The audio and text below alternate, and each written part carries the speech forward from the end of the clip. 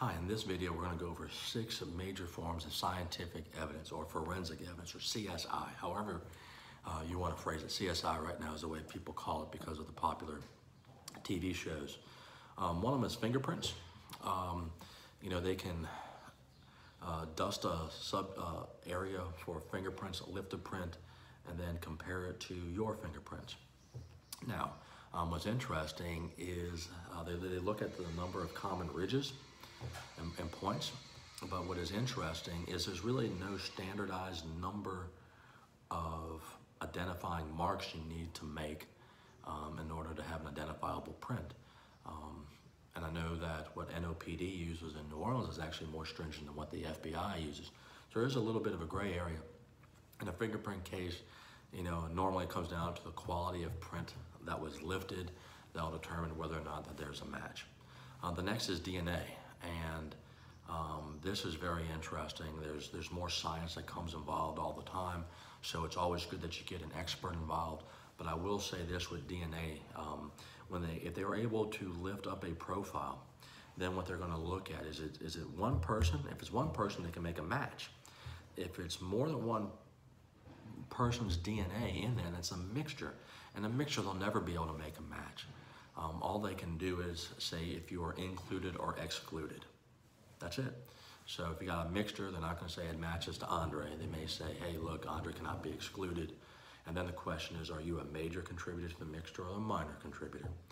Um, and so uh, that's always important. Now, again, even if there is a DNA match, how the DNA got there, when it got there, and under what circumstances could be um, the issues that are litigated. But in a DNA case, you're, you're best served by going to get an actual expert consultant because the technology and refining uh, DNA uh, changes all the time. Next is blood splatter. Um, this is used in some cases, in some cases it's not. Um, I'm not even certain this is established science, but basically if you've seen like the show Dexter, um, he was really good at blood splatter, right? He's a serial killer who worked for a crime lab in Florida. But um, anyway, you know, you shoot somebody, you know, projectile's gonna go through their body and blood's gonna splatter. You stab somebody, the actual cut's gonna cause stuff, the knife going back up is gonna splatter. And, and you try to look at the concentration of blood, the direction of flow to kind of get an idea as to what happened. That's in essence what a blood splatter expert will do. Um, one that is uh, always used in a criminal case is a forensic pathologist, and sometimes a pathologist is a defense attorney's friend. Um, this was the person that did the autopsy of the dead person. Um, they're going to talk about, with like gunshots in particular, they can give you distance. You know, based on the markings on the wound, they can tell if it was a contact shot, a close shot, an immediate shot, right? Um, they can also um, look to see if there was defensive wounds on somebody. So if there's a claim that the victim was fighting off, but there's no defensive wounds, that may be something uh, that is important to know. Or if the victim has gunpowder on their own hands and you're trying to say, well, they shot at me first, those are all things that pathologists can testify to. Um, they can also, obviously, they testify as to the manner of death and, and how the person died. Um, in rare instances, you may be able to show that the person died of some other event other than what you're claiming happened. But um, anyway, that's there. Um, another good component of the um, pathologist exam is the, uh, the blood sample. You want to know if the dead person was on alcohol or drugs or a combination of both, and sometimes that explains their erratic behavior and aids in a defense. The next one's a handwriting exemplar, and um, you know, actually a jury can take notice of someone's handwriting similarity to a document, but there are experts um, that will get the person to write out um, a bunch of letters and words and they'll compare how they make their L's or H's or whatever to the document in question and give an opinion. Say, hey, this is likely written by the same person.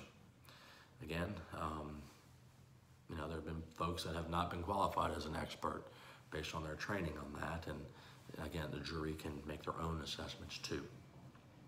Um, and the last one that's kind of pretty cool is ballistics. I actually think ballistics is one of the more reliable sciences out there. You know, when you fire a gun, it's going to leave a couple of distinct impressions. The hammer pin striking the bullet is going to leave a mark on that. So if I get a casing and I have the weapon recovered, well, first of all, I just have the casing. I can look at multiple casings even from the same caliber of bullet, and I can determine they were fired by the same weapon by looking at that strike mark. Now, if I have the weapon, I can fire a test bullet, compare that test bullet to the casings I recovered to determine if the casing that I have from my crime scene matches the gun I recovered. Same thing with a bullet. As the bullet's going through the barrel, that barrel's gonna leave an imprint on the bullet. So I can look at a couple of bullets and I can determine if they were fired from the same weapon. And if I get the weapon, I can fire a dummy shot and compare the two bullets to see if the bullet recovered from the scene matches the gun that was recovered. So that's pretty fascinating. Um, and that's something that you'll see in a lot of uh, homicide cases.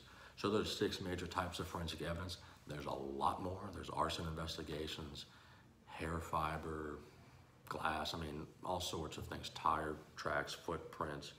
Um, but these are the major ones that I see um, in murder cases that I deal with, all right?